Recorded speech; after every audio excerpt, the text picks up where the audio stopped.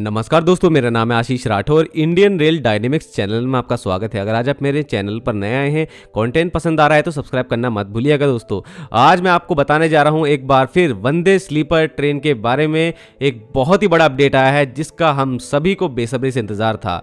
आखिरकार इसकी तस्वीरें सामने आ चुकी हैं। कल अश्विनी वैष्णव जी पहुँचे B Bharat earth movers limited की बेंगलुरु फैसिलिटी में, जहाँ पर मैंने आपको बताया है, बन रही है हमारे देश की पहली वंदे स्लीपर ट्रेन, जिसको लंबी दूरी के लिए बनाया जा रहा है। तो दोस्तों, इस ट्रेन के बारे में बहुत सारी चीज़ें पता लगी हैं, विस्तार में बात करेंगे।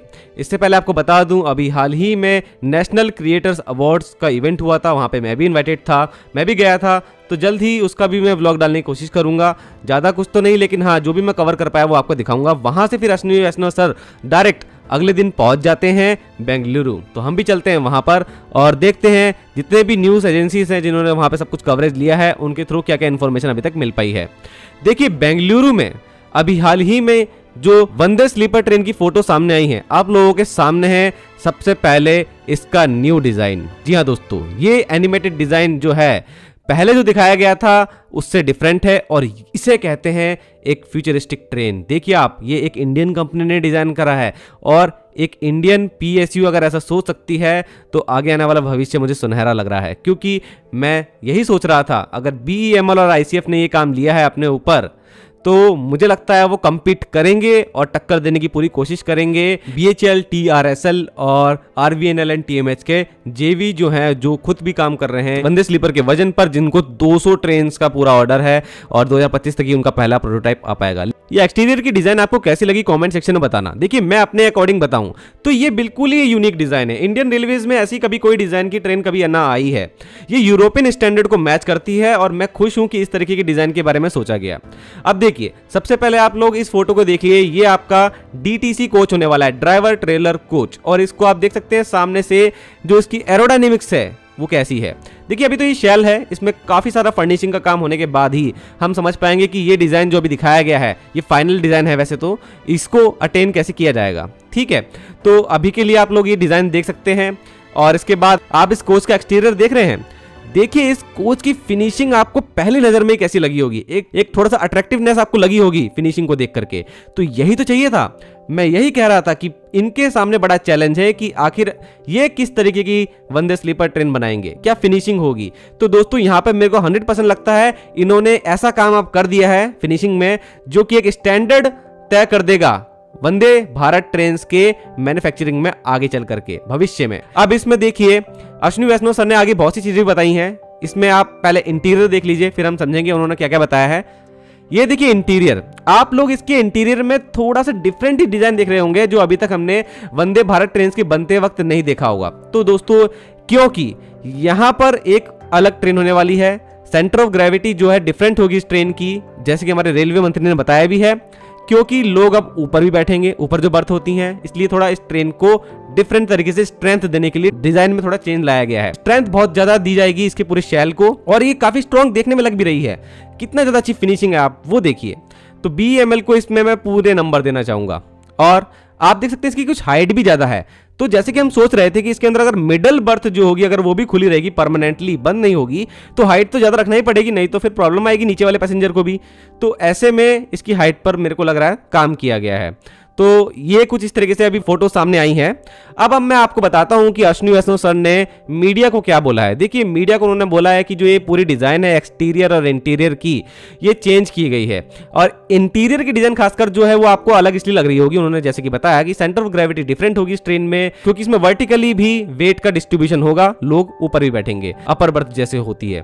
तो उसके अकॉर्डिंग इसमें चेंज किया गया स्ट्रेंथ ओवरऑल ज़्यादा प्रोवाइड की गई है। एक चीज़ उन्होंने साफ़ कर दी, जो कि मैंने आपको बहुत टाइम पहले बता दी थी इस ट्रेन की इलेक्ट्रिक्स जो होगी, वो बिल्कुल सेम होगी वंदे भारत की चेयर कार के वर्जन के अकॉर्डिंग इसका मतलब vehicle control system braking pantograph traction motor transformer auxiliary converters और बोगी, सब कुछ सेम होने वाला है। तो इसका मतलब इस ट्रेन की जो पावर होगी, वो पूरी तरीके से हो सकती है ऑलमोस्ट सेम हो 16 कोच की chair car Vande Bharat express के अकॉर्डिंग। 11000 से लेकर 10000 हॉर्स पावर की ये ट्रेन होगी 16 कोच की।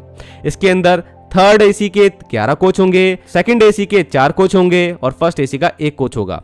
इन कंपोजिशन में बदलाव भी हो सकता है, फ़िलहाल के तौर पर अभी ये वाली जानकारी निकल के आई है। अश्विनी वैष्णव सर ने बताया कि इसके बहुत सारे फीचर जो हैं, वो चेयर कार वर्जन जो है, उससे ही मैच करेंगे। तो वो तो हम लोगों को बहुत सारे फीचर पता लगी गए हैं। अब इतनी जर्नीज हम कर चुके हैं नई वंदे भारत एक्सप्रेस के अंदर। उन्होंने बताया कि वाइब्रेशन काफ़ी कम होंगे। साउंड प्रूफिंग जो रूफ में की गई है, वो बहुत ज़्यादा अच्छी की गई है। ग्लास का इसमें यूज़ किया गया है, जिसकी वजह से जो साउंड है बाहर की, वो अंदर नहीं आएगी। तो इसका मतलब राइड क्वालिटी काफ़ी अच्छी होने वाली है और राइड इंडेक्स भी जो है इसका काफ़ी ज़्यादा कम किया जाएगा उसको भी, जिससे कि ओवरऑल और ज़्यादा अच्छी क्वालिटी मिल सके जर्नी के वक्त में। क्योंकि एक तो लॉन्ग जर्नी के लिए बनाई जा रही है तो कंफर्ट तो इसमें चाहिए ही चाहिए। साथ में मेरे को इसमें कोच में जो विंडोज़ का साइज़ है वो बिल्कुल सेम लग रहा है चेयर कार वंदे भारत के अकॉर्डिंग और जो डोर का साइज़ है वो भी बिल्कुल सेम ही लग रहा है। तो उसमें कोई ज़्यादा मेरे को चेंज देखने को नहीं मिला। बस मुझे सबसे ज़्यादा खुशी हुई है फिनिशिंग को देख करके, जो कि बहुत अच्छी लग रही है। अब इसकी फर्निशिंग स्टार्ट हो जाएगी। अब देखिए, सबसे बड़ी बात यह है कि मार्च में इसको लाने की बात की जा रही थी। शांतनु रॉय जी, जो कि बी एम एल की सी एम डी है, उनका तो ये बहुत पहले कहना था कि हम तो मार्च से पहले भी तैयार कर सकते हैं इसको। लेकिन दोस्तों, एक थोड़ा सा धक्का तो इस चीज़ में हम लोगों को भी लगा है, सुन करके, कि कई मीडिया आर्टिकल्स में छपा है कि छः महीने तक लग जाएँगे। मतलब लगभग अगस्त के आसपास ये ट्रेन आने की संभावना रहेगी।